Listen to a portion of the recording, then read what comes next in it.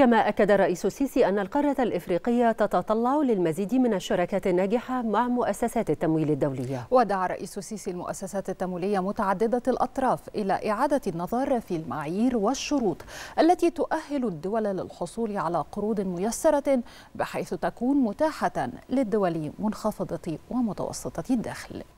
تبرز أهمية هذه الاجتماعات ودور بنك التنمية الإفريقي في توفير الحلول التمويلية الملائمة لاحتياجات دول القارة التي تحقق المعادلة الصعبة بين توفير التمويلات الضخمة اللازمة لتحقيق التطلعات التنموية من جانب وخفض مخاطر هذه التمويلات من جانب آخر.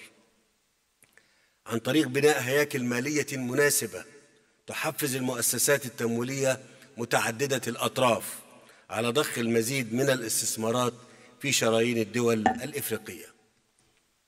كما أغتنم هذه الفرصة لدعوة المؤسسات التمويلية متعددة الأطراف إلى إعادة النظر في المعايير والشروط التي تؤهل الدول للحصول على قروض ميسرة بحيث تكون متاحة للدول منخفضة ومتوسطة الدخل على حد سواء خاصة في ظل تصاعد تكلفة الاقتراض وزيادة أعباء خدمة الدين وما له من وما له من انعكاسات سلبية على الموازنات المالية لتلك الدول.